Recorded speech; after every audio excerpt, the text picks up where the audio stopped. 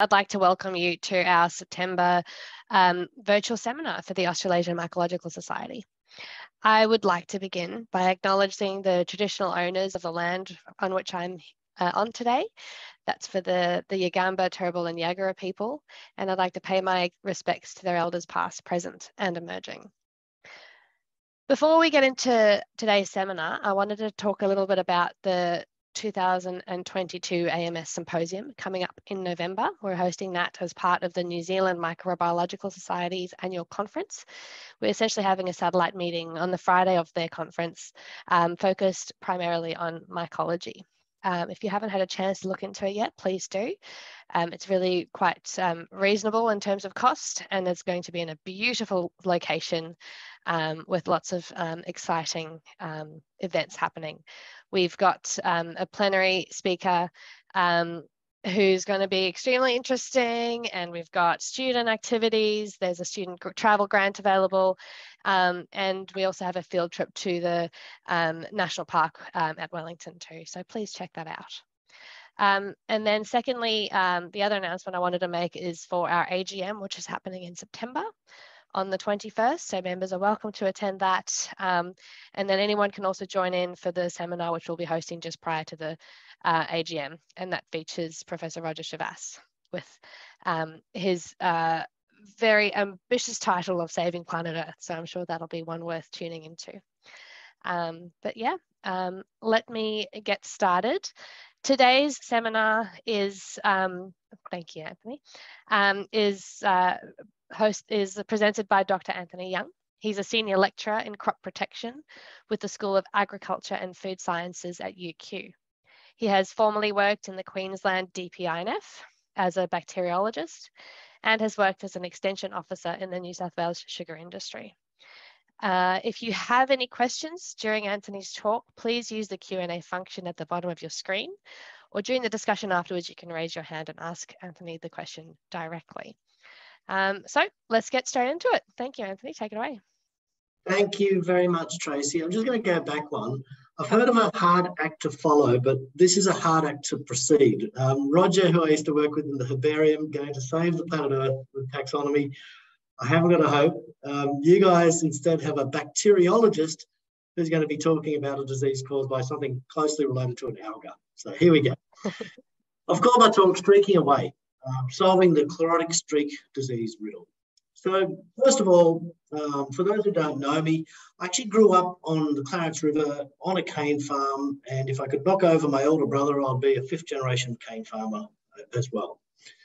My first paid job was planting cooch runners on the Maclean Showground pitch. And now I'm doing a little bit of work on turf. Um, I feel um, honoured that I got $90 for two days' work um, that year.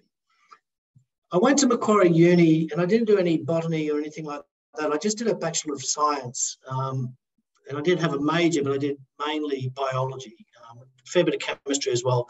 For my honours year, I did lichen symbionts, so the algae and the fungi that constitute lichens, and also a study on velvet worm hybrid zones. And both of these subjects, in a roundabout way, um, very much helped me in my future career because when you think about the lichen symbiosis, um, that's one part of the, I guess, the disease spectrum where organisms interact with each other very closely.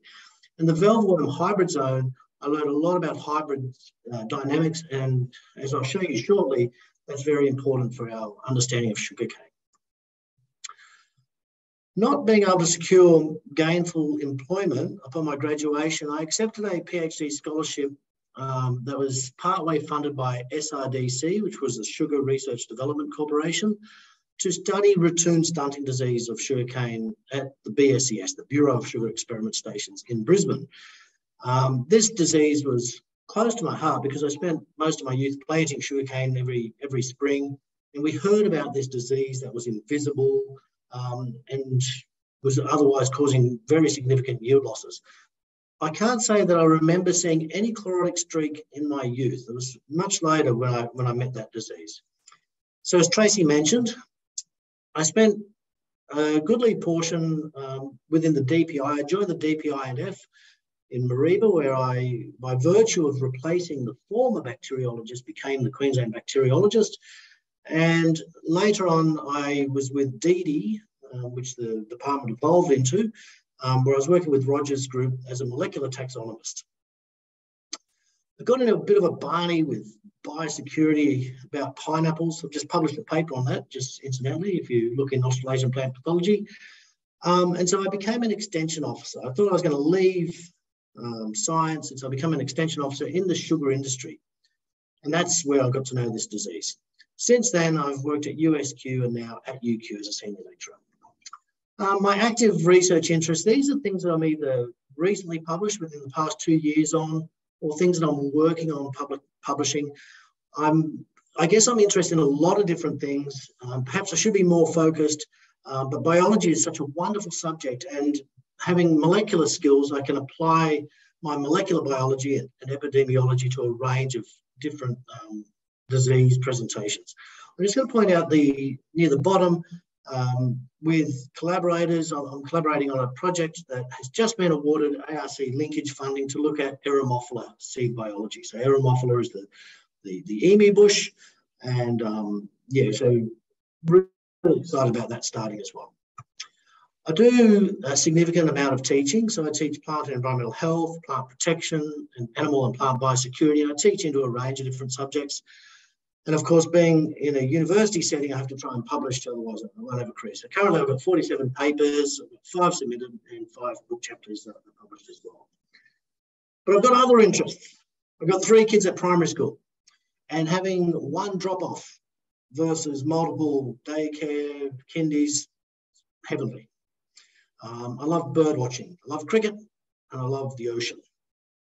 And I love writing stuff. So Here's a little sample of little, these are all get rich slow schemes of mine. Um, in particular, I draw your attention to Bent Bananas, which is a, a novel I'm currently looking for a publisher for.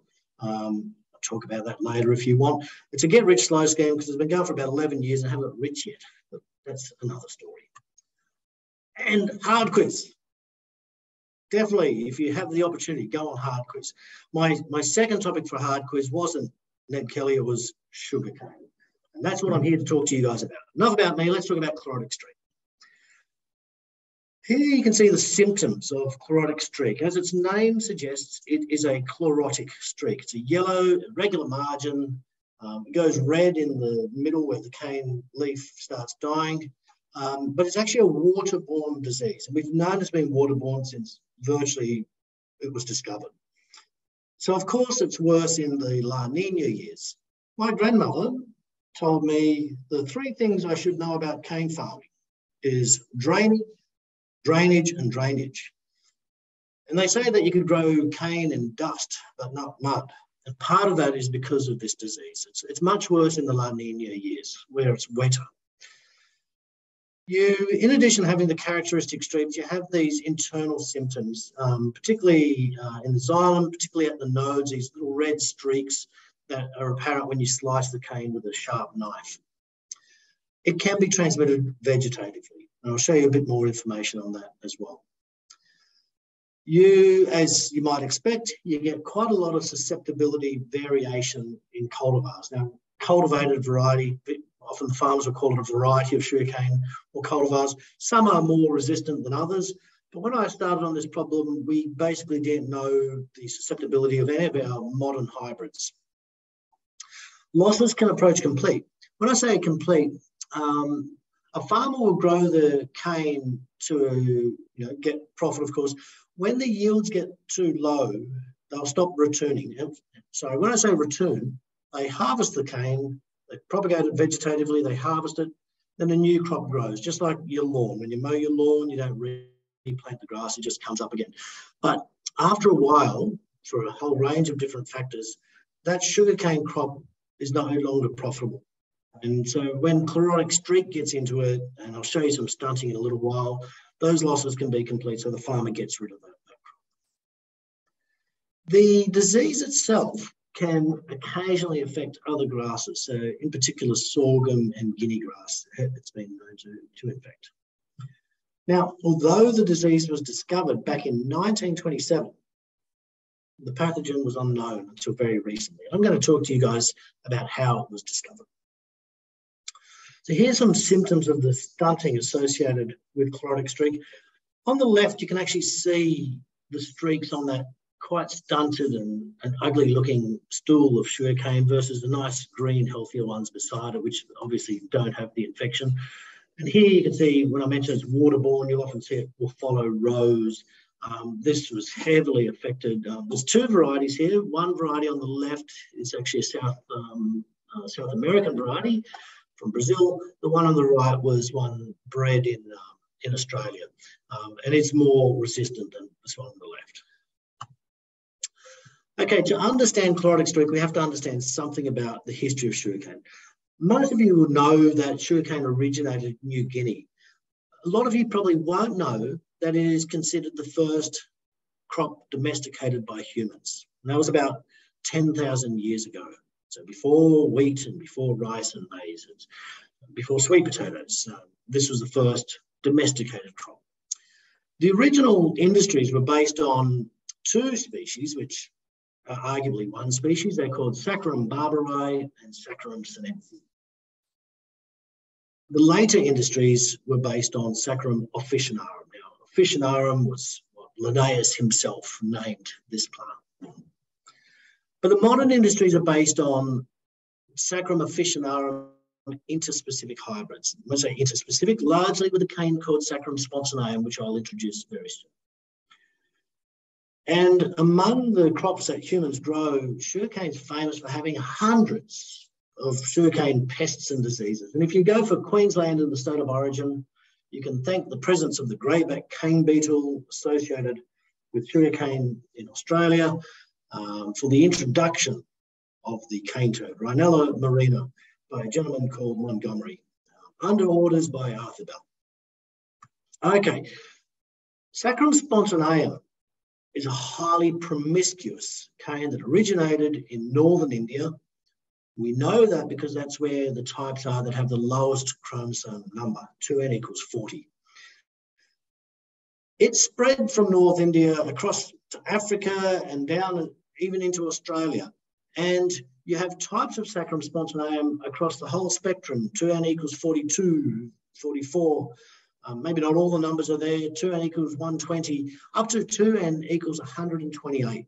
And how it did this is it mated with endemic grasses everywhere it went. It's so, uh, let's say, um, chromosomally plastic. It can, it can reproduce and have fertile offspring. And, and it spread right across that region. Never got to the Americas. Now, an ancient Saccharum spontaneum or something like an Saccharum spontaneum got to New Guinea, the, the island of New Guinea. And there it hybridized, relatives unknown, to form a sugarcane called Saccharum robustum. Now, Saccharum robustum has 2n equals 80, which is exactly the same as its successor. Saccharum officinarum, which was selected by the people of New Guinea for its colour and for its sweetness and for its softness. And we know it was domesticated because you will not find Saccharum officinarum anywhere apart from where humans were living or still live currently. And the chewing canes are still there at the moment. This particular cane, oh, so Saccharum robustum has virtually no sugar. It's, it's not a sweet cane but through human agency, it was selected to make it make some sweet kinds. Now, this Saccharum officinarum, through human trade, ancient prehistoric trade, made it to the mainland, where it hybridized again with Saccharum spontaneum, forming what we call two species, but it's arguably one species, Saccharum sinensis and Saccharum barberi. And of course, Saccharum officinarum also spread into that Pacific region and so you do get some chromosomally aberrant forms like 2n equals 82, for example.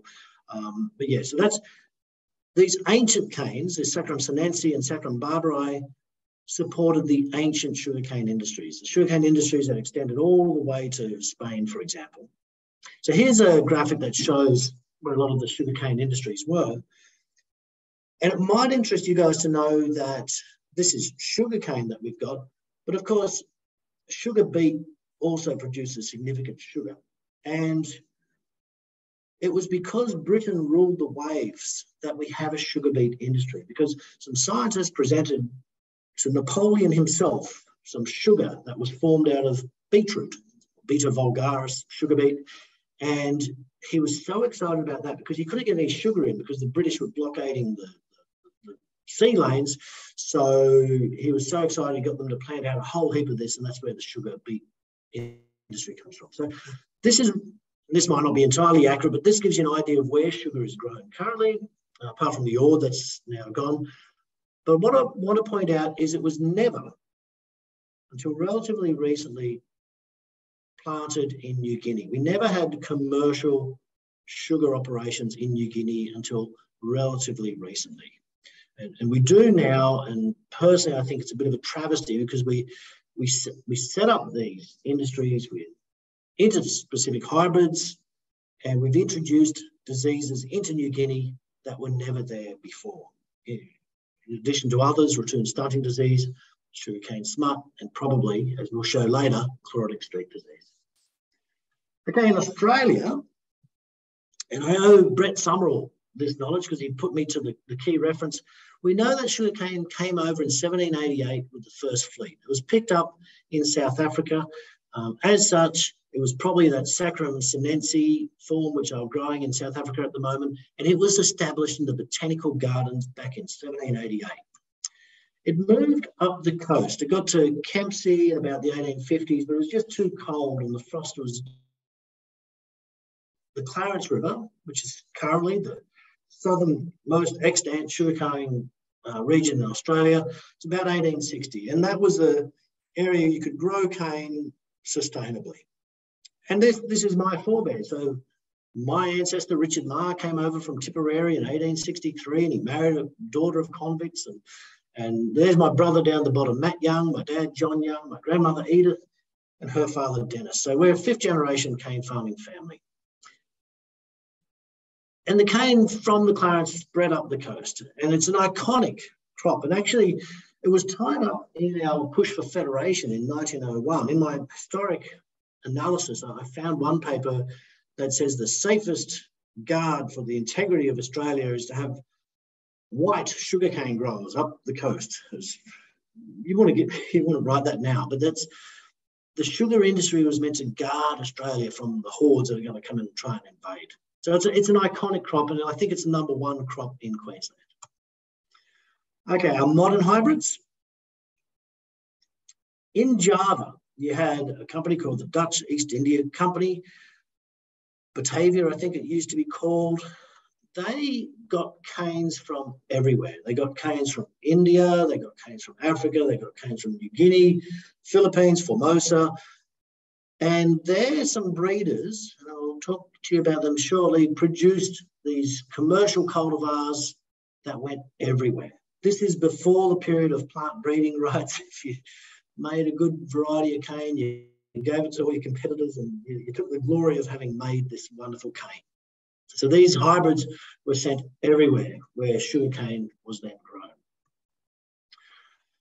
And largely because of this man. This is Jacob Jeswiet, or Jacob Jeswiet, who was a professor at Wageningen and also a plant breeder. He is considered the one of the fathers of sugarcane tax taxonomy and also one of the fathers of breeding. He classified those canes, the Saccharum barberi and sinense, based on their hair and their bud characters very systematically. He was the one who produced this sugarcane called POJ 2878, the Javan wonder cane. This sugarcane variety that had hybrid characteristics of resistance from one of the parents plus sugar from the Saccharum officinarum um, mother. And it basically went everywhere. And, I, and I've already postulated in a previous paper during my PhD thesis that the release of this variety is what released a lot of sugarcane diseases around the world, in particular ratoon stunting disease. He's considered the father of sugarcane breeding, and I perhaps have been guilty of further entrenching him as the father of sugarcane breeding because he's not. He did a lot, but someone else played a role. Jacob Jeswiet became a member of the Dutch Nationalist Socialist movement. He collaborated with Germany in World War II and he was dishonorably discharged and jailed.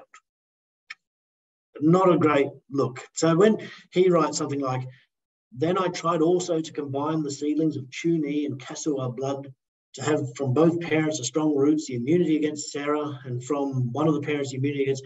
It's I don't like reading it to be honest. Let me talk to you about the person who made it all happen, Gerharda Wilbrink. Most of the world don't know anything about Gerharda Wilbrink, but she was a Dutch PhD who came over to the Dutch East Indies, Indonesia, back in about 1910. And she was a, a pathologist who is a, a woman in very much a man's world who was formidable.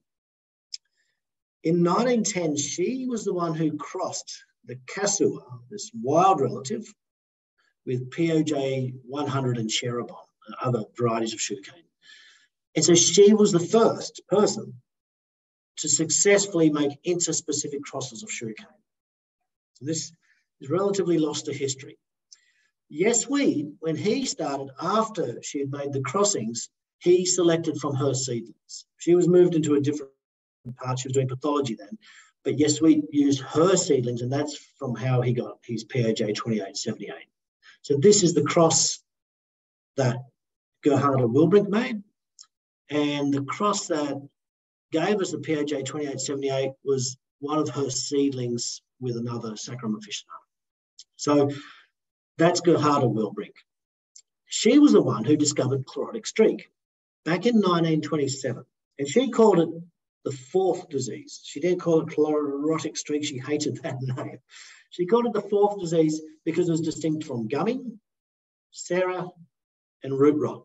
So sereh we think was a phytoplasma disease, but since Gerharda's work, it, it's virtually disappeared.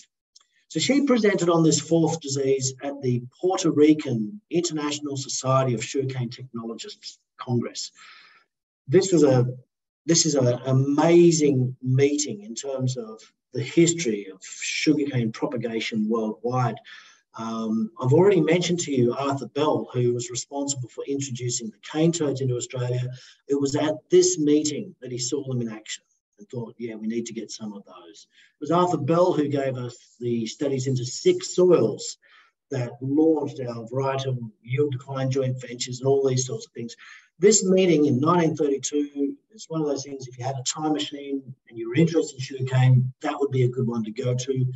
And in these um, proceedings of these conferences, um, the secretaries would actually type down the conversations, and, and you get to hear Gerharda um, eviscerating her opponent. She's, she's a magnificent um, woman. Not only did she give us the first interspecific hybrid, she gave us Wilbrink's medium for Xanthomonas. That was when I first heard her name when I was doing some work on a strawberry um, angular leaf spot outbreak. Um, we were using Wilbrink's media to, to, to grow it up. She gave us hot water treatment for disease management, which is still being used right across Australia, sugarcane, and worldwide today. She learned that she could grow seed cane in mountain nurseries to prevent them from getting the sereh disease. And she developed knowledge on the mosaic disease epidemiology. And the more I look into her achievements, the more I find that she has done. So if you haven't heard of Will, uh, Wilbrink, she's one of the greatest unsung heroes of, of plant pathology and science. And I'm, if you haven't heard of her, I'm glad to introduce you to Gerharda Wilbrink. Okay, that's the history I wanted to start you with. Let's just go back to where, where I came into this thing. I mentioned I was working with the DPI, the Queensland government, and then I left over that pineapple thing and I become an extension officer. And when I become an extension officer, this is my first newsletter I put out, I thought, well, okay, while I'm walking away from science, this could give me an opportunity to put my PhD research, my plant pathology skills into practice. So I thought, in the back of my mind, I thought this might give me a chance to tackle ratoon stunting disease. And this is a, some sugarcane with the internal symptom of the ratoon stunting disease. Not much to go on. But when I started, the biggest talk was about sugarcane smut. So as you're probably aware, the sugarcane smut uh, was in West Australia for a long time up in the, the Kimberley, but it arrived in around Bundaberg in about 2006. And by 2011, early 2011, the first sugarcane smut was found on the Clarence River. And so um, all the growers were really concerned about this, this fungus that was, um, you know, associated with the sugar cane. So I get down there, they're all talking about that. But we had very, very wet conditions. You remember 2011, the Brisbane floods? Well, we had floods down there in New South Wales too. And it turns out that chlorotic streak disease was actually the biggest issue. Everywhere I went, I could find more and more chlorotic streak disease. So I started thinking, how can we actually work on this in among everything else? So as an extension officer, I had to try and identify weeds for the farmers, how to control the weeds, how to calibrate spray tanks, shooting levels for drainage, varieties, CCS. Um, it was a very intense period. And as you're probably aware, of, so I was like the last, well, I think I was the last appointed BSES extension officer. Then the BSES got rid of extension officers, so I joined New South Wales Sugar in the same role. And then Sugar Research Australia emerged out of, out of BSES. So I missed the May 2009 flood and the January 2011 flood. But when I was on the Clarence, we had the January 2012 flood, then we had a 2013 flood, then we had another flood in February and another flood in March. And as you can see by the picture, um, and if you know the Clarence River, you know it's a floodplain, it's not much high ground, it's very, very flat. When you have floods, everything goes under. So we'd had six floods since May 2009 and five floods since January 2011. And these last five floods are all occurring virtually in summer, in our hotter months. And we knew from work going back to Brian Egan's day in the 1960s around Bundaberg that the chlorotic streak disease organism, whatever it was, we know it's waterborne and we know it likes warmer water than colder water. And so you can see we've got the perfect conditions for an epidemic of chlorotic streak disease. And that's what we had. We had massive loss in yields associated with the flooding. I'm not saying all this yield loss is directly attributable to the chlorotic streak organism, but we certainly dropped our yields by about half. And we had the lowest cane yields in tonnes per hectare in more than 50 years. And the, the previous 50 years was on the back of the 1959 flood. And the, there's a lot of flooding in the 50s as well. So you can see we had much reduced yields. And I remember getting a phone call from a farmer and he asked, Anthony, can cane grow backwards? I thought he was mad. So I went out and had a look, and this is a photo I took. And I guess it was an optical illusion for him because all the cane that wasn't affected was growing, and the cane that was affected wasn't. So it looked like it was actually growing backwards. And then I started looking at the epidemiology across the Clarence Valley, and I found three main varieties were really the worst affected. these constituted the most reports I had of problems. So Q203, Empire, and SP were the worst. And some of them were less affected, 232, 3120, and 208. And then when we look at the harvest by variety in that year, 2012, you can see that Empire and 203 make up close to 50% of all the cane we harvested. And so our main varieties are the worst affected by this disease. There was no obvious pathology of nematodes. It was CSD that was causing these losses. And so that gave me an opportunity to do some ratings. So this is our clean seed plot. So when we control another disease, ratoon stunting disease, we release hot water treated vegetative propagative material and this is our plot. There's about 20 varieties in that plot. And there was flooding right throughout. And so that gave us an equal opportunity for infection. You couldn't say that one stalk got more chance of getting infected than the others. And it reduced confounding factors because there was no other diseases that we knew that were present in those plots. So I generated ratings for all of our varieties that came we had, and I gave them to BSES, SRA, who uploaded them onto SPIDNet. And so at this stage, we have 20 ratings for varieties that we never had before. At the same time, we started doing field inspections. So going out and seeing whether or not the ratings we've made in a controlled, semi-controlled circumstances apply to what we're seeing in the field. And we did this over three years on a scale of zero, none, none evident, up to three, heavily infected. And we got a reasonable correlation with the ASP ratings. There was a little bit of variation, but reasonable correlation. It allowed us to find out other things. It allowed us to confirm unequivocally the relationship between rainfall and CSD. In the two really wet years, we have much more CSD. When it dried out in 2014, we had much less. Great. We also found evidence of vegetative transmission. I'll just quickly go through this graph. I split the varieties into new varieties and old varieties that were in our mother plots of our approved seed plots. And I've got the same varieties, new and old, that are out on the farms. So when I say new variety, if we've only got it in the past seven or eight years, versus older varieties, varieties that have been with us for 10, 15, 20 years. And you can see that while there's virtually no difference in the susceptibility between the new and the old varieties in a controlled or semi-controlled environment, when we have them in the field, we have much more CSD in our older varieties. And that's because we're getting vegetative transmission, because farmers are planting out material that already has the disease. Newer varieties have less chance, less time to have picked up the disease than the older varieties. Okay, then we had a breakthrough. When I say we had a breakthrough, Kathy Braithwaite at the BSES had a breakthrough. At the tail end of another project that was looking at Ramu stunt disease in PNG, as well as chlorotic streak in Australia. She tried some primers that she got off a collaborator who were meant to hit the actin gene, I believe, from uh, oomycete, and she found a 750 base pair amplicon, which was consistently associated with CSD symptomatic tissue. Now, this was an absolute um, breakthrough that we've never had before. Now we had a DNA target and potentially a DNA test that we could use to try and identify a chlorotic streak and fundamentally find out what is actually causing it. But the DNA sequence came back with no hits. It was, it was gobbledygook. It was basically, we have an amplicon, but that's it.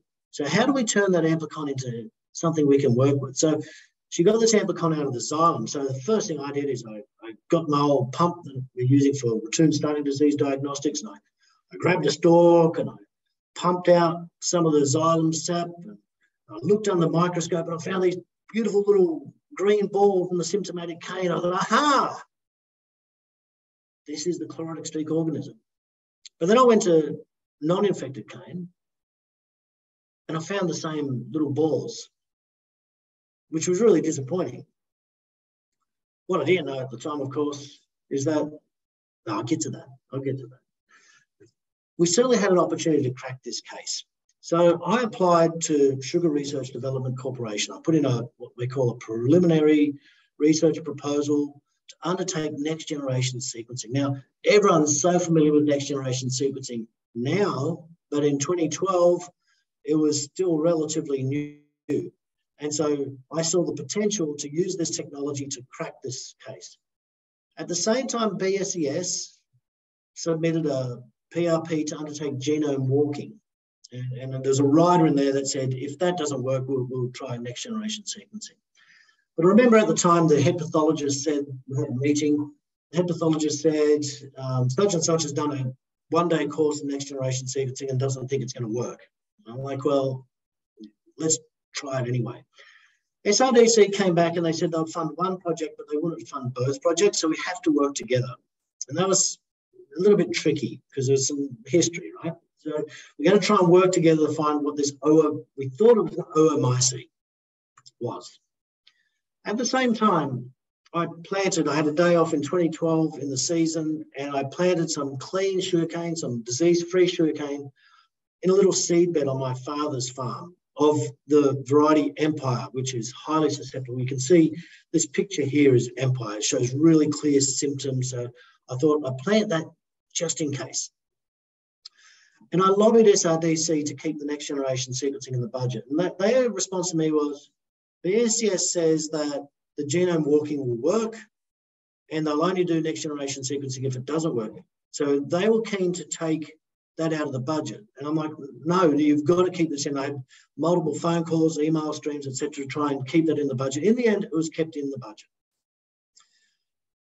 And between 2011, December 2011 and April 2013, the BSES had sequenced about 1,300 bases. They had 750 bases, but they'd sequenced another you know, a little bit more, 550 odd bases. So why are my issues with genome walking? I've presented this previously. If we take a chromosome, let's say the gene that was randomly amplified is there, we want to walk down the chromosome to find something more diagnostic, like a ribosomal gene, a calmodulin gene, a translation elongation factor alpha, whatever it's going to be, right? But what if they're down there? You could be going a long time. Now, at that stage, 1,300 bases would represent 0.03% of a single 4 million base pair chromosome. Now, the smallest known oomycete genome at that stage was 28 million bases. And let's say it was on a different chromosome. The original amplicon was extended by 550 bases in 15 months. So that's 1.2 bases per day, or let's say three coffees per base. At that rate, if it had an average size genome of an oomycete, it would take 228,000 years. If it had the smallest genome possible, it would take 64,000 years to get it at that rate. And as I said in an email to, um, yeah, well, we've got microsatellites could get in the way, secondary structures, an outbreak of something new. And as I said at the time, I said it's like setting off for a road trip around Australia on a moped while the Ferrari is in the garage. Anyhow, we had a meeting up at Tully eh, about 18 months in, about halfway through the project. And thankfully, the chromosome crawling method was abandoned. And we collect samples of Q241 from Tully. Um, and the team came down to Harwood. I was with them. We collected the samples, pumped the xylem. The team came down to Harwood. Um, we went to Empire on my dad's farm um, and we, we got samples out of there. We all scrubbed them clean. We pumped them all out together. Um, and Dr. Chuong Ngo from SRA um, undertook the Illumina analysis where he had infected and, and non-infected. It turns out that while we tried to have non-infected samples from Harwood as well, we're on a floodplain. Even though it didn't have symptoms, all of them lit up with the PCR. It was very difficult to find any sugarcane at that period that did not have this pathogen present.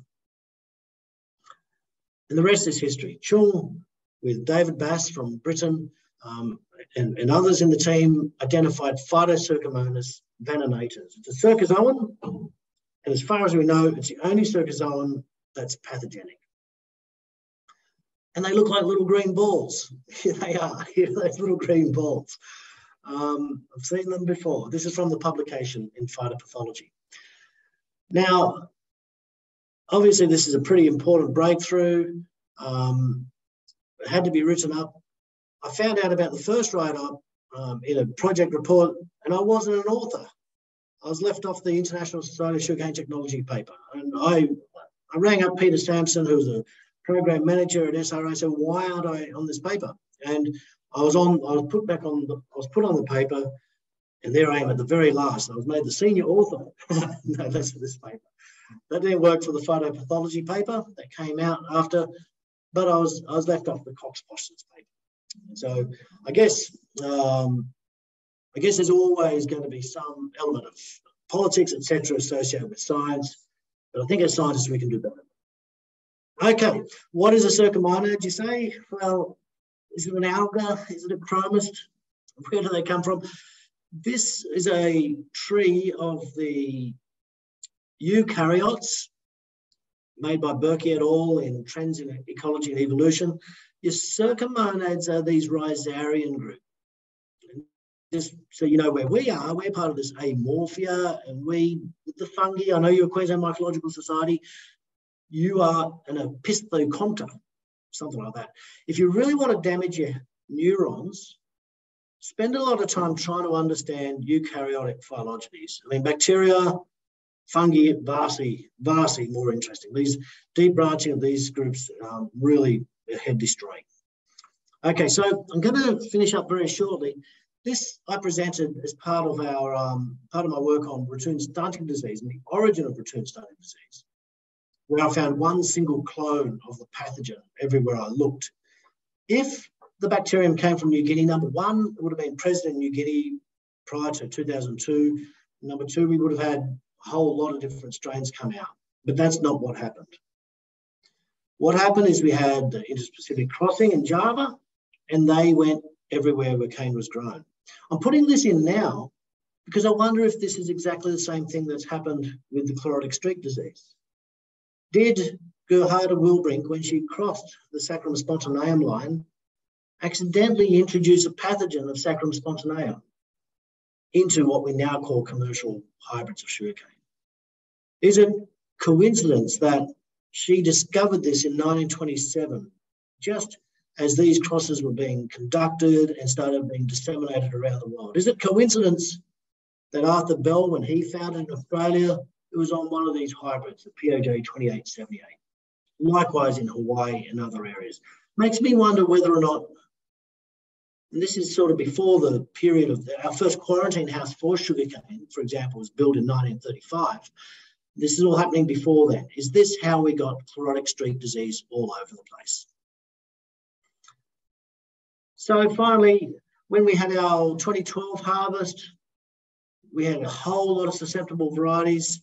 By 2014, our two biggest varieties constituted only 5% of what we planted. And instead, we're planting highly resistant varieties. About 50% of them with Q208 and 232. And if we have a look at the yield, there's, there's, I know there's a lot of things going to yield. Nonetheless, we had 2015 was a really good season. But 2015 had the highest yields in the modern era. When I say the modern era, since mechanical harvesting came in. We also had the highest one-year-old yields on record. And this period has been the longest sustained period of above average yields. The, the previous record was four years. We're currently one, two, three, four, five, six, seven. We're, we're really reaping the benefits of employing resistant varieties to this disease, as well as our work on ratoon stunting disease. So conclusions. The causal agent was solved after 90 years. This should have been a Nature paper, in my opinion. Um, when the ratoon stunting disease organism was found 40 years after it was discovered, the disease, that went into science. I think this could have been a Nature paper. Um, the some of the samples that gave us this was taken from one of the oldest cane farms in Australia, and I love that. We still don't understand anything about the natural situation of this magnificent organism. And was it potentially an endophyte or a pathogen of Saccharum spontaneum? We need to do much more. We're going to finish up with some acknowledgements. Mark Ensby and Steve Loach and Wayne Davis for technical assistance in the field, SRDC and later SRA for funding the research, big mention to Peter Sampson, particularly Chu uh, Chuong Ngo, who did the um, next generation sequencing that solved this. And of course, Kathy Braithwaite for um, finding that amplicon. Alwyn Williams and Kay uh, Wang from uh, UQ have helped me with some of the analysis, and Ruby Earsman is doing some research on this with me at the moment. Uh, finally, thank you, Tracy, for inviting me to speak and for the AMS for allowing a bacteriologist to infiltrate your inner sanctum. Thank you very much. Thank you so much, Anthony. That was fascinating. Um, it's really lovely to have uh, a great variety of research presented on this series. So um, thank you so much for agreeing to come on board. Um, just a reminder, if you have any questions uh, to the audience, please please can you please uh, put them in the Q&A function at the bottom of the screen. But I'm going to take host privilege and ask the first uh, question. Um, so you said that um, the more uh, more recently the varieties planted have been tended to be more resistant. Um, now I'm just wondering if that has continued over the last seven years of yield. Have you found any differences in resistance levels amongst the the um, more highly used varieties of sugarcane lately, or is that too yeah, soon to tell? That's a great question, Tracy. I'm not actually based on the Clarence at the moment, um, but I've got strong contacts there. Um, we continue to discuss this. I was actually asking the um, my successor as extension officer and one of the technical field officers I, I listed whether they had any chlorotic streaks. I'm keen to get some more samples to do some more research, and they say they haven't seen any for ages. That's good to hear. Um, and um, it is uh, chlorotic streak you said it is actually uh, at a global level. So um, where else is, uh, did they find um, high levels of disease occurrence? Um, again, I haven't actually travelled too widely in other sugarcane growing areas. Yeah, yeah. The main centres, and it's typically associated with um, lower ground um, waterlogging area. Um, we also found some. We also found some really interesting epidemiological data, which I didn't include, that found that growers who grew their cane on mounds, like uh, raised beds, have less chlorotic streak than those who grow it on the flat. So that indicates that if you get the water off the field really quickly and you keep the cane slightly above it, then you're going to have better outcomes associated with this chlorotic streak. Um, what I would love to do is get chlorotic streak samples from all over the world and see whether or not genetically they're identical, whether there's much variation in them, if there are differences in susceptibility. There's a whole lot of um, different research we'd like to do on that front. I bet. Um, I did do a bit of Googling on your um, uh, hard quiz achievements too. I couldn't find an episode available, so I'll have to keep searching. But I saw a couple of screenshots, so you, looks like you, it was a bit of fun. no, you, you, you, probably won't find that. Um, Tom Gleeson was so annoyed at me for what I did at the end of the episode that uh, I think now you've intrigued me. yeah. yeah, it'd be very that one that particular episode would be nearly impossible to find. We'll have to chat about that sometime. Um, okay, so the other question I had um, now, obviously, chlorotic streak disease uh, reduces yield. Um, what are the other symptoms other than the visual streaking? Um, does it reduce root um, quality, or what? What is the symptoms? Yeah, yeah. So it's actually a root and this is what held up research on chlorotic streak for so long because it's got this beautiful streak, which is such a clear, obvious symptom that all the previous pathologists were looking for the microorganism that was causing it in that in that streak. But it's actually an organism that attacks the roots and it gets into the xylem vessels. And we don't ex exactly know how it forms the streak, but we don't think it's the organism actually present in the actual streak. So it's, it's an organism that attacks the root. They have reduced root mass. Inside, when you slice the cane, um, you do have these red streaks, which are um, they're bright red. They're not just at the lower nodes like other sugarcane diseases. They, they go right up the stalk. When you see that, um, it's pretty good evidence that you've got chlorotic streak. And that, that reddening is believed to be the phenol oxidase response, um, gums made by the sugarcane to inhibit whatever's living in those xylem vessels. So you often see that red associated with multiple different pathogenic presentations. But that's, they're, they're, the, they're the main symptoms. Um, in older sugarcane, it can be difficult to see the symptoms because as the cane leaves nest, they go brown. You, you can't pick the symptoms. Different times of year, they're more obvious. But it's perhaps the simplest sugarcane disease to diagnose because when you see those streaks, nothing else makes them. Yeah, at least it's got a basically a, a, a good flag to say, look out, this is where it is. Um, Bevan was saying, firstly, thanks, a really great talk. Um, must have been quite a journey. Um, he also asks, are other species in this genus or family known to cause diseases? No, well, there's there's actually um, there's actually some debate about that. Like I've been contacted by um, experts in the field who are surprised that the cercozoan is actually a pathogen because cercozoans um, how do I describe them? They're, they're like an alga that either never had a wall or has lost the wall. And most cercozoans are bacterio um, trophs. They, they, they eat bacteria for their living. And that's, that's all they do. They just, they're, they're heterotrophic, eating bacteria. Um, as far as we know, no other cercozoan causes any disease on anything. And there's some argument within the cercozoan community whether the chlorotic streak organism is causing the problem. Um, I'm sticking with Chuong and the science. I'm saying it is the pathogen. Yeah, very interesting. Are they photosynthetic at all or not? Well, we've got these. Well, I I don't know. I, it depends on depends on where you look. I've I'm sure I've seen little chloroplasts in them, yeah. right? Okay. But then they're living in the soil. They're living under the water. Yeah. They're they're, they're typically a freshwater group. They, they generally don't like saline conditions. Um, they're super abundant in many soils. Um, could they potentially be facultatively um, photosynthetic, like something like Chlamydomonas? Maybe. Um, but to be honest with you, I don't know. Yeah, I can definitely see why it was um, assumed to be an oomycete from the start. Um, has ticks all those boxes too, I suppose. Um, if there are any other questions, um, now's your chance. Don't forget you can raise your hand. Um, but I will start to wrap up probably. Thank you so much, Anthony, for a really interesting talk. Um, really pleasure to have you on, with us today. I think we're all going to be Googling um, your name and pineapples, not to mention hard quiz. Good on you, Tracy. Thank you very much for so much. hosting me and thank you everyone for your attention.